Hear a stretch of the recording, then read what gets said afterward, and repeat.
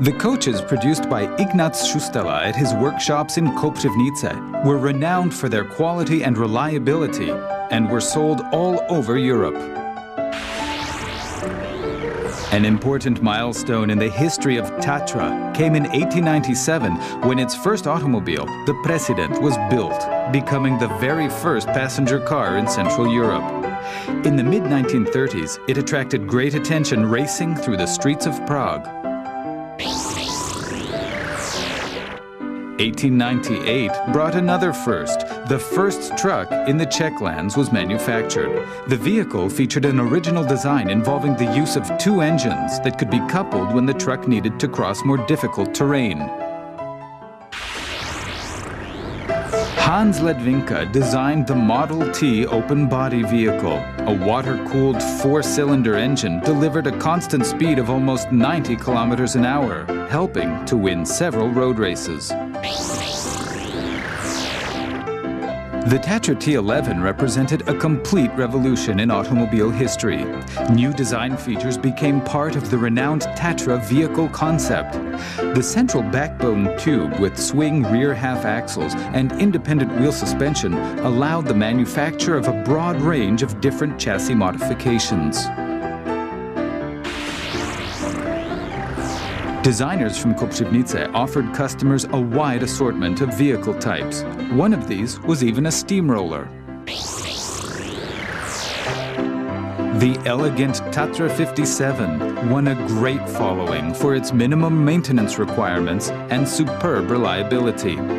Buses built on Tatra T23 and T24 chassis handled the most difficult routes of the streets of Prague with the steepest climbs. The Tatra 77 became yet another first from the Koprivnice factory, the world's first mass-produced passenger car with a strictly aerodynamic frameless body. Expanding product range to meet all the requirements of the times is a Tatra Koprivnice trademark. Aircraft powered by Tatra engines set many remarkable records. The Slovak Missile Express train was manufactured in Koprivnice in 1936. With two control stations located on opposite sides of the train, it featured an aerodynamic body and traveled at high speed. In 1942, Tatra introduced the celebrated T111 truck, fitted with a 12-cylinder air-cooled engine.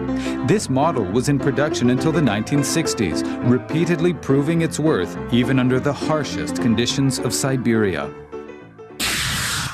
The list of passenger cars began with the popular Tatraplan, which was soon after replaced by the T603 limousine. Later, the Tatra 613 came along and was completed by the T700 luxury limousine. The production of passenger cars was shut down in 1998. The Tatra 138 came with a number of design innovations, as well as the careful finishing of all design details. This proved useful in the most difficult operating conditions of the Siberian taiga.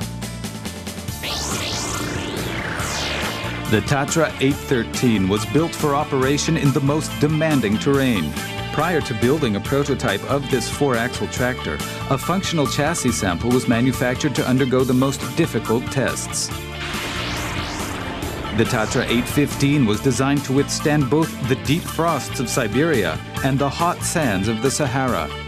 This is the special Tatra 816 Wildfire fire engine, built to undergo demanding tests in the United States. The main representative of the Terrno 1 family is a three-axle tipper with disengageable front-wheel drive. It can be delivered in various modifications and is intended for mixed service.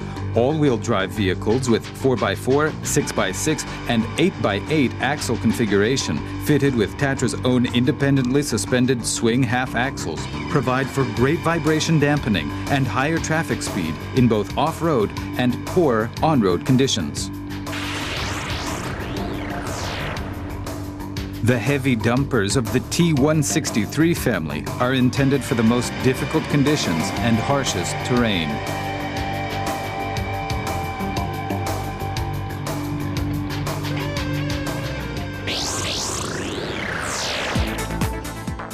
Armax trucks, derived from the well-tried Terrno 1 family, are produced for military forces and take advantage of all design features of the Tatra vehicles.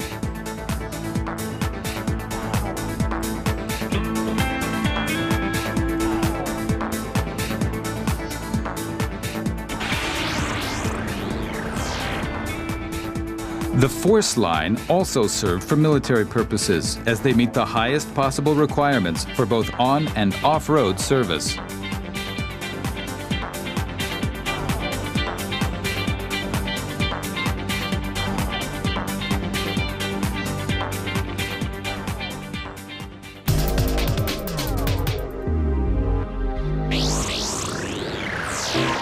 In 1925, two Tatra 11s achieved fantastic results in the Targa Florio race that took place in Italy. Czechoslovak crews took the top two positions in the 1100cc category. The Tatraplan Sport, there have been only two units ever built in the factory and both reached great accomplishments in several races. One of the most successful race cars was the Tatra 607 Monoposto, designed as a mobile test shop for the Tatra 603.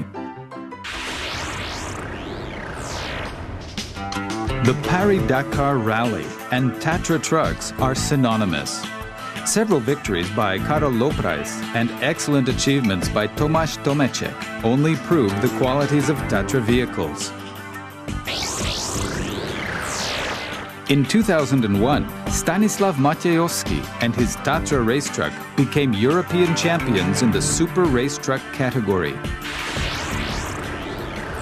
The names of Jiří Hanzelka and Miroslav Zikmund will forever be joined to the Tatra 87. They perhaps inspired the crew of the Tatra 815 GTC to travel around the world.